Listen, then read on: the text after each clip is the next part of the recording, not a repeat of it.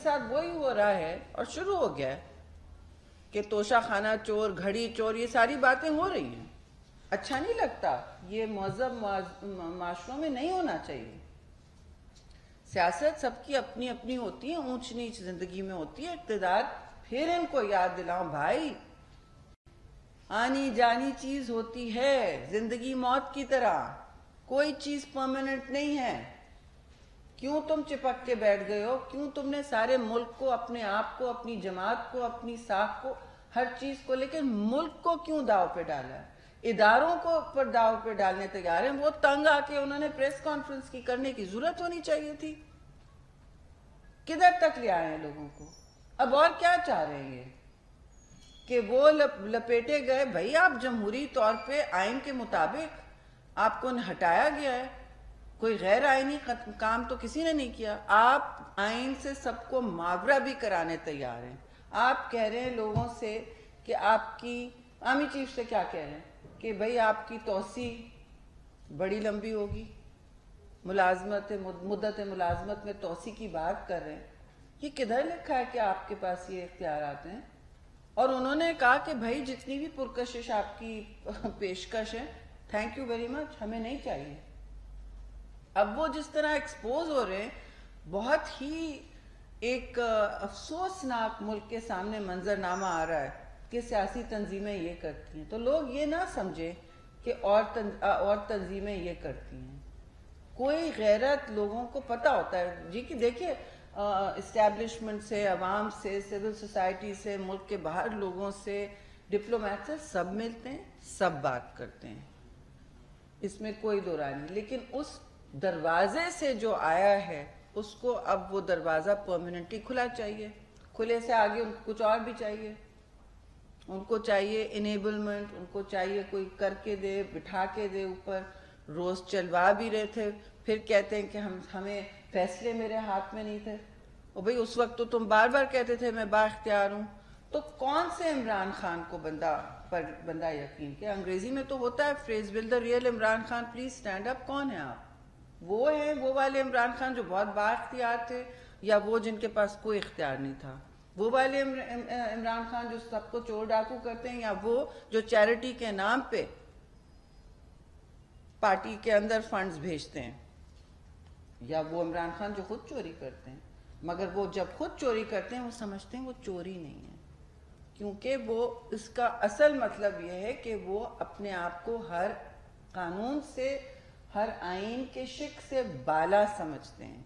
इसलिए वो अपने आप को परमानेंट बादशाहत की तरफ़, उनका जहन वही है। इसीलिए उन्होंने पार्लियामान को ठोकर लगाई, इसीलिए उन्होंने हर चीज़ इसी तरह की, उनकी सोच यही है। और ये सोच फुस्ताइत की होती है जी। इक्कीसवीं सेंचुरी में ये सिर्फ़ फुस्ताइत में होता है कि आप अवाम को घिराव जलाओ के जिम्रे में ले जाएँ, कहें कि आप यही करें। आपकी जद्दोजहद, भाई आपके बयानिए पे आपकी जद्दोजहद, आप लॉन्ग मार्च करें, आप शॉर्ट मार्च को खूनी ना बनाएँ। नहीं। लोग आपको, फिर आपको कुछ समझते हैं। अवाम बेवकूफ़ नहीं है जी। लेकिन उन्होंने जो फुस्ताइत का एक खास तरीका होता है, वो अडॉप्ट किया हुआ है। फुस्ताइत में क्या होता है कि आप अवाम को रोज वही झूठ सुनाते हैं। बार बार बार बार। वो झूठ रिपीट होता है। ताकि उस झूठ के फिर एक लोगों के जहन में सच का एक सहारा हो जाए और वो एक हकीकत बनने चले। They keep on repeating and repeating and repeating जी, आपको कोई सवाल है बेटा? परेशान जी। नहीं नहीं, वो वो वो कुछ परेशान है। So I am just saying कि ये इस वक्त में हम अपना काम कर रहे हैं।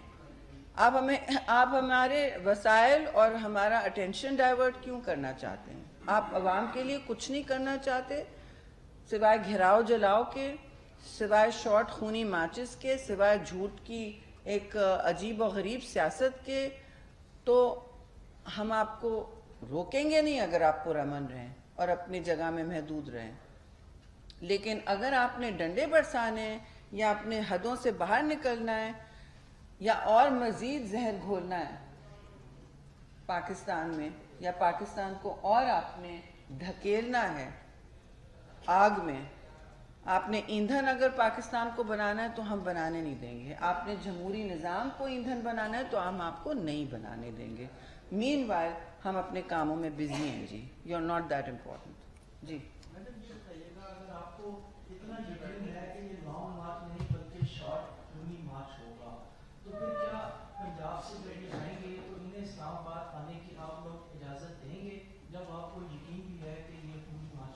देखिए, मेरे या आपके यकीन करने से कोई फ़र्क नहीं पड़ता। जो हकीकत है, जो वो कहते फिर रहे हैं, उस पर ही इहिसार है और जो रिपोर्ट्स आ रही हैं, खुद ही कह रहे हैं ना हम हम हम लाहौर से निकलेंगे। शायद लाहौर से ही निकलेंगे ना? आई डोंट नो कहाँ से निकलेंगे। लाहौर से निकलना है? वो कौन सा मार्च हुआ? मैं भी आपको ड्रॉप कर देती हूँ, लाहौर चलें शाम तक। वो कौन सा मार्च हुआ जी? मुझे बताएँ? बैठे ना, ट्रक पे निकले, सूरज में, गर्मी में, सर्दी में, निकले, कराची से निकले भाई। आप कहते हैं ना कि हम बड़ी मकबूल जमात हैं। तो सर्कस बैंड बाजे एंटरटेनमेंट के बाहर निकले। वहाँ खाना भी नहीं मिलता ट्रक पे, बस तेज चलना पड़ता है। बहुत सारी जो इनके लिए सहूलियात होती हैं कंटेनर में वो नहीं मिलती। वो आपको बस फिर जद्दोजहद करनी होती है। जद्दोजहद आई एम सॉरी इनको नहीं आती। ये समझते हैं, मार, ढार, तोड़, फोड़, तरला, तमाशा, ये चले। और कह रहे हैं लोगों को, हम एंटरटेन करेंगे। भाई सर्कस लगाना है तो अपने घर में लगाओ। बैठ जाओ एक कोने में। लगाए सर्कस दुनिया हंस रही है। दुनिया हंस रही है कि हम पाकिस्तान की हुकूमत से पूछ रहे हैं, आपको किस चीज़ की ज़रूरत है? इनके फॉर्मर प्राइम मिनिस्टर ये तमाशा, बैंड बाजा लगा रहे हैं।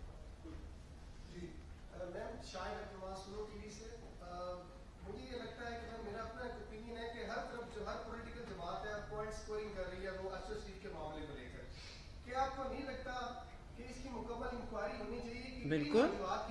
जी। पाकिस्तान छोड़ना पड़ा? उन पर जी। जी जी बिल्कुल।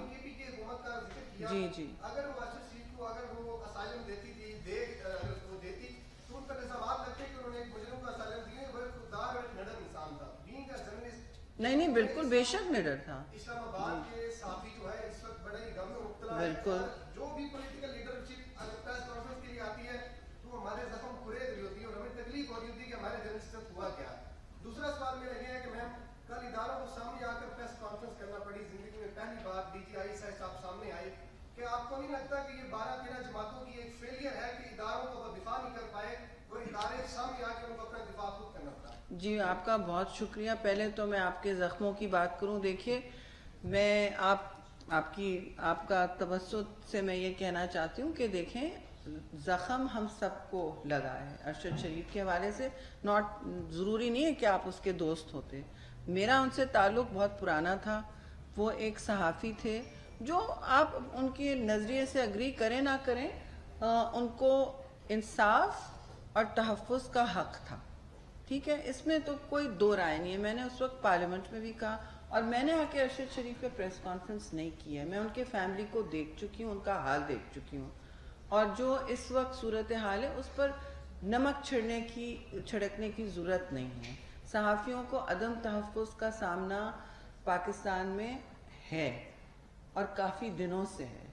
मैं किसी एक रेजीम को इस पर ब्लेम भी नहीं कर रही। इस तरह की बात मैं नहीं करती रही। लेकिन ये जो केस है, इसको मुझे लगता है इस्तेमाल किया जा रहा है। नज़र आ रहा है कुछ स्टोरी में भी इतने शगाफ हैं, हर चीज़ में इतने गैप्स हैं कि समझ नहीं आ रहा। और बिल्कुल, आपने सौ फ़ीसद सही बात की कि इसकी हाई लेवल इंक्वायरी वो वो जो टीम है, वो तो केनिया के लिए शायद निकलने वाली है, निकल चुकी है, क्योंकि वहाँ की तहकीकाती प्रोसेस से या जो उन्होंने अभी तक किया है, कहना तो मुझे नहीं चाहिए दूसरे ममालिक बट हमारा भी हक बनता है कि हम उसको कुरे दें और आगे तफ्तीश को ले जाएँ और यहाँ अगर लोग मुतमिन नहीं हैं उस तफ्तीश से, वहाँ भी अपोजिंग कन्फ्लिक्टिंग स्टोरीज आ रही हैं, जी। तो दैट मस्ट बी इन्वेस्टिगेटेड और यहाँ भी प्राइम मिनिस्टर ने हाई कोर्ट लेवल पर बनाया है ना कमीशन वो किसी को चाहे कोऑप्ट कर लें, वो आपको बुला लें, वो सिविल सोसाइटी के मेंबर उनकी फैमिली को बुला लें, जो भी शवाहिद देना चाहे इंफॉर्मेशन देना चाहे, दलाइल पेश करे फैक्ट फाइंडिंग में इजाफा कर दे अदराक में इजाफा कर दे तो वो हाई लेवल हाई कोर्ट का है।